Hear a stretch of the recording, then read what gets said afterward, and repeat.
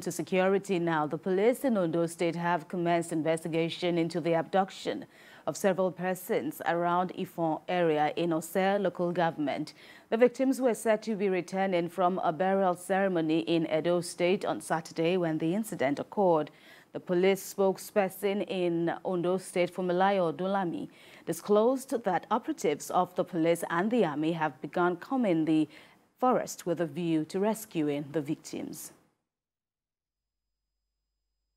Information reaching us said 11 people were kidnapped. And right now, as I speak to you, our men are still combing the bush for them. One of them that has been rescued is currently at the police station.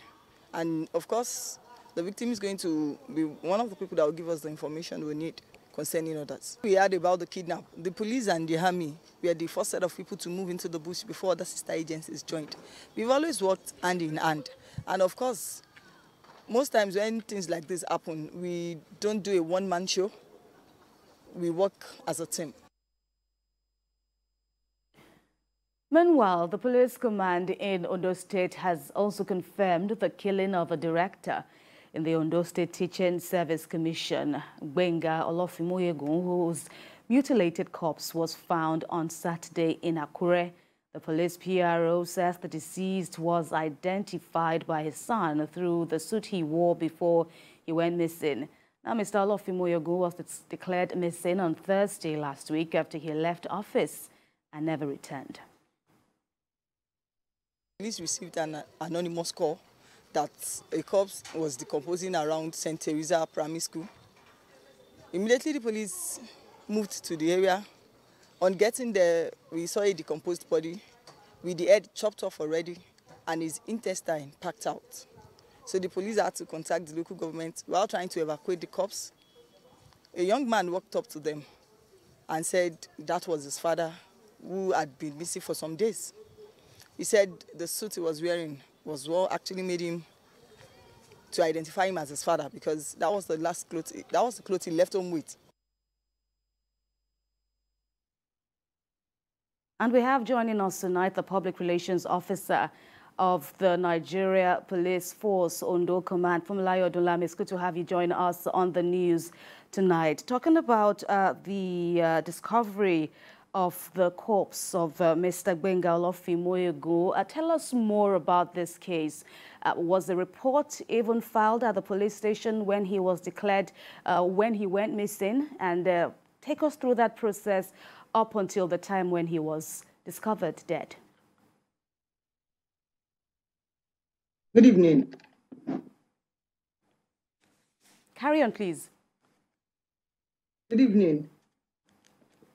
Yes, when the the disease got missing, the son said he went to SWAT to make a report.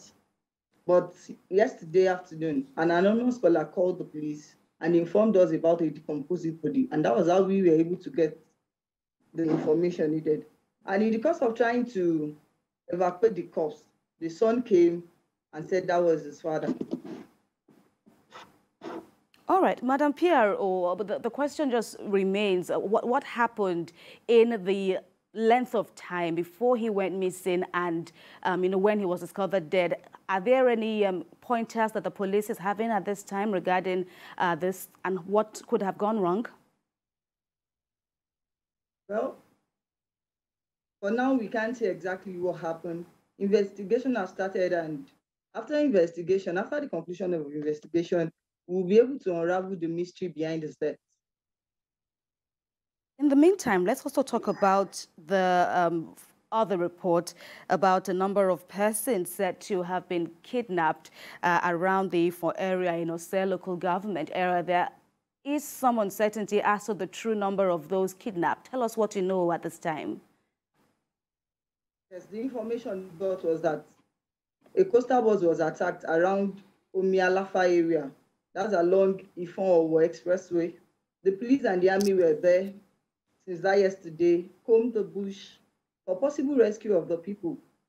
Fortunately for us, today, one of the victims was rescued. And of course, we have to give him some time to calm down because normally he will have been traumatized.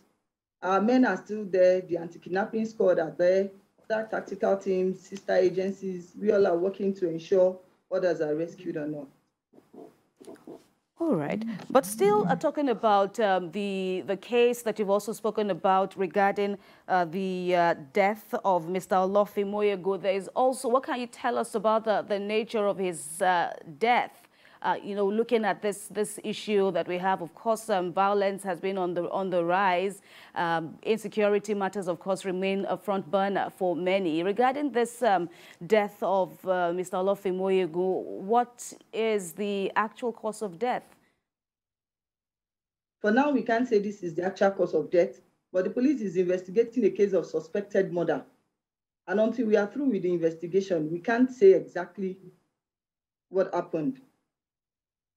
Right, uh, the public relations officer of the Nigeria Police Force in Ondo State, Funmilayo Odunlami. Thanks a lot for your time with us on TVC News.